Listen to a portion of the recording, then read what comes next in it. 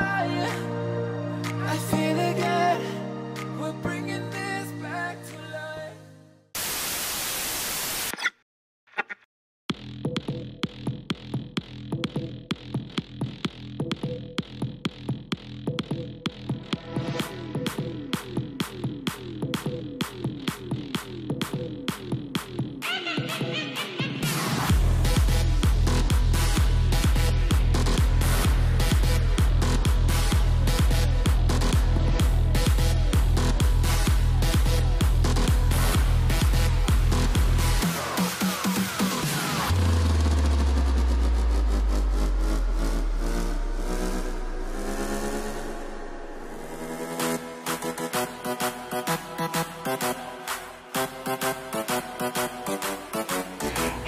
everyone, how's it going and welcome back to my channel. If you're new to my channel, welcome. Please make sure to hit that subscribe button and that notification bell so that you're notified of all my upcoming videos. And if you are a returning subscriber, welcome back and thank you for watching. This is Halloween video number two, technically number three if you're on my Facebook and you saw my mini little nail tutorial. Um, I didn't I said I didn't know how much I was going to put out because my life is crazy busy. However, I wanted to go ahead and do this for a number of reasons. One, I really wanted to get rid of this CoverGirl eyeshadow uh, that I've had forever and it kind of gave me an idea to do something with like, like a green face. So as you can see in the intro, I am doing like a masquerade witch. So I want I saw this idea like just kind of flipping through Pinterest and um, I didn't see one that did like a masquerade look. It was more like um, I saw something here, I saw something there, I kind of mashed them together. And I noticed that with people, masquerade is like a thing like they really love it um, especially if you've ever gone to a masquerade party and you wear those annoying masks and they just go down like they're, either made of metal or they're made of um, like crocheted knitting material um, and they just fall and they just get tied up in your hair. So it's just so much easier to just kind of like paint it on your face. So I was like oh what about um, a witch that like is going to a masquerade ball and like her mask is like a cobwebs? So I'm like, okay, well, so I came up with this idea and let's see how this pans out today. All the products I'm using, if you have something similar, use that. Don't go out and buy something if you see me use it. A lot of my stuff is old, um, stuff that I want to get rid of. And, you know, this is probably like the last time I'm ever using it. So let's jump right into the tutorial. And here we go. I am using the Z Skin Winter Skin Hydrating Spray because my skin is so angry with me right now with all these looks that I've been doing.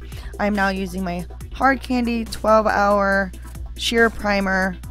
Think it's Lift and Firm. And again, going over with foundation using the lightest color I have because I really want that green color to pop and show. And I'll explain why in a minute.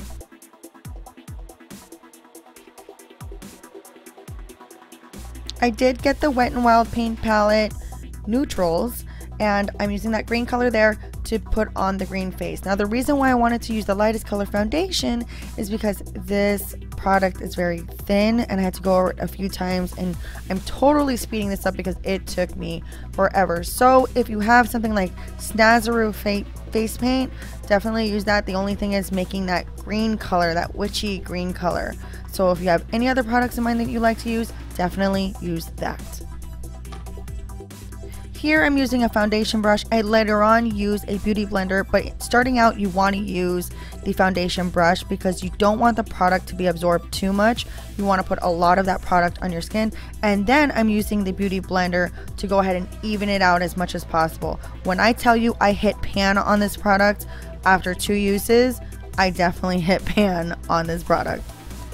So I am using that old CoverGirl eyeshadow and I broke it up. So that's what I was saying there, break it into like powder, like loose powder. And you're going to want to set that in if you are using the Wet n Wild paint palette that they came out for the 2018 Fantasy Makers um, collection this year.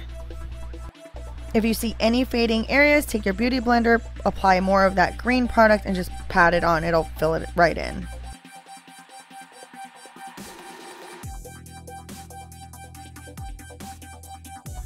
You're going to see a little shift in light because I had to close my curtains. The roofers came and I didn't want them peeking into my window. So I'm sorry about that. Here, I'm just doing my eyebrows by making it a little thicker than usual.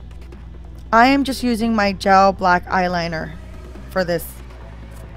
Okay, so here I'm using the Wet n Wild Green Multi-Stick and I'm applying this on my eyelids as a primer and this really did the job with the eyeshadow. Like it made the color stand out pop more metallic it, look, it looked wonderful. So use this as your primer. I'm only applying this on my lower lids. Um, I'm not applying this throughout the entire eyelid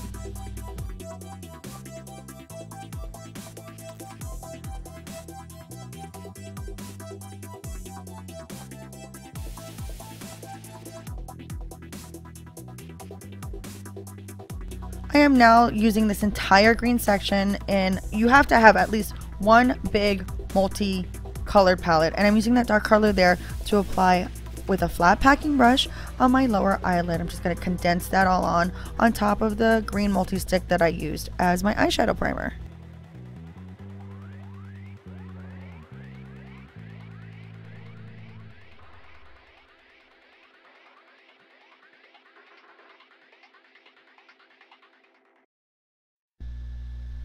This did a great job on top of the multi-stick. I got many more ideas for the multi-stick that I want to use later on, but here it was like it did wonders with this eyeshadow. So make sure you have like a dark green eyeshadow. Uh, you're gonna do like a smoky green eyeshadow look. Now going in this, with this army green looking color, I'm going to use a crease brush and apply this along my crease. I'm going to actually blend in the darker color and this army sagey green color together um, so I can just like blend it out and smoke it out more.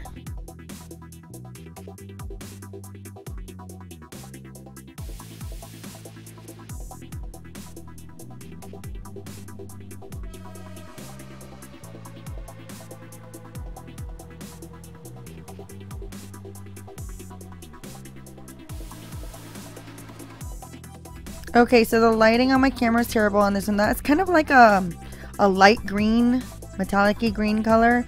And I'm highlighting my brow bone with this color. This smoky eye makeup look was very, very, very simple. It's just three colors. That's all I used for my eyes. Come to think of it, I think that's really the only colors I used for the entire look.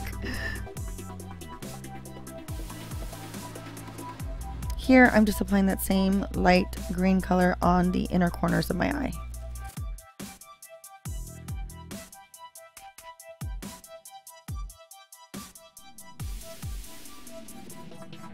To darken my outer V a bit more, I'm taking that same dark color I applied on my eyelids and just applying, blending that a little bit on my outer V, just to give it a nice transition from dark to light as it goes into the inner corners of your eye.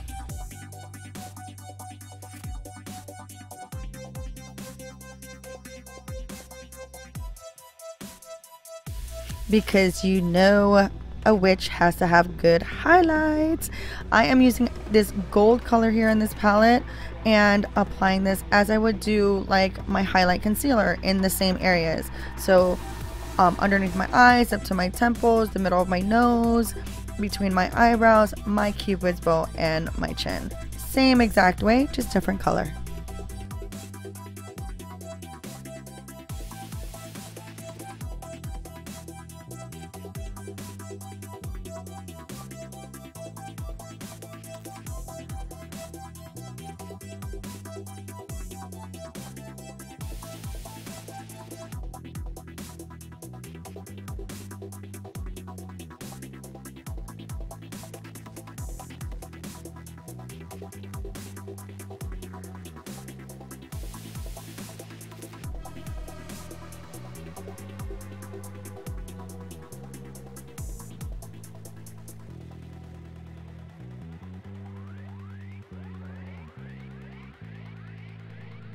Now taking that same dark green eyeshadow I used on my lids, I'm applying this as my contour. So I'm using a, a blush brush or a contouring brush and I'm just applying the same areas to contour my face, hollowing out my cheekbones. I do a little bit on my forehead. Um, of course, I do down the sides of my chin, underneath the chin, kind of curve out that double chin effect that I have going on currently. and um, just making sure that I just look as witchy as possible.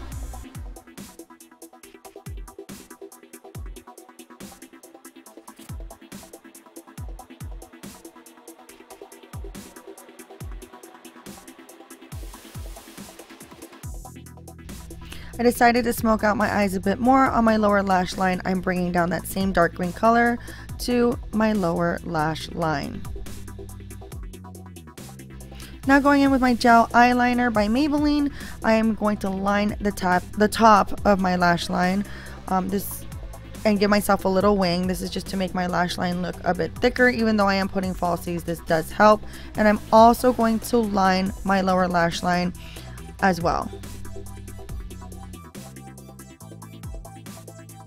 To blend out that uh, eyeliner and the shadow, I'm just smoking it out using um, a small rounded brush.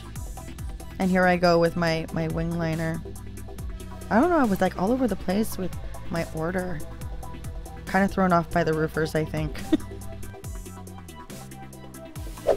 so you're probably wondering why I pulled this mask out. I am definitely not using it. I'm using it as a guide to actually put dots on certain places of my face, high points and low points of the mask to make sure it's proportionate.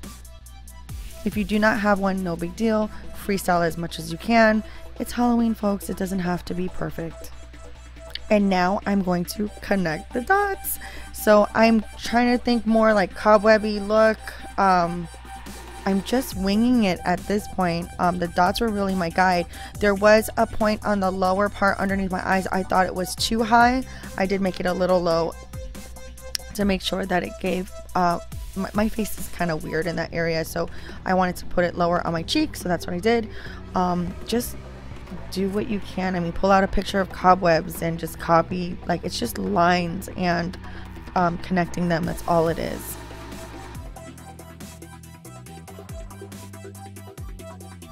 I'm going to admit, at one point I was thinking, oh my god, this looks like Batman. And then I was like, oh my god, this looks like the Spider Man, like, face painting look. Um, so I was really trying to avoid that. So I just went ahead and just tried to make it more as spooky as possible. But it was kind of funny because I literally thought at one point I was like, okay, great, I have a Batman mask on. I'm not going to lie, this took a lot of time, but good looks take time. So take your time, don't freak out about any mistakes. Um, it was really easy to fix with just the green um, paint and a brush and it was really easy to eliminate.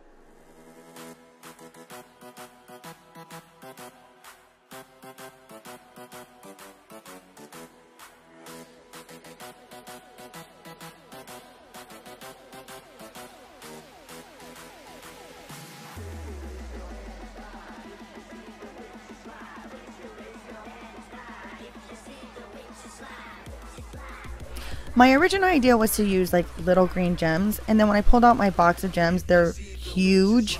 So I decided to go ahead and use my Ulta Beauty Glitter Tears. And if you have a gold glitter uh, gel liner, you can use that. You'll find them all over the place right now at Walgreens and Walmart. They're going to get rid of their Halloween stuff like starting tomorrow, people. So um, go ahead and grab that. Just follow the pattern of your design of your mask. It really is that simple.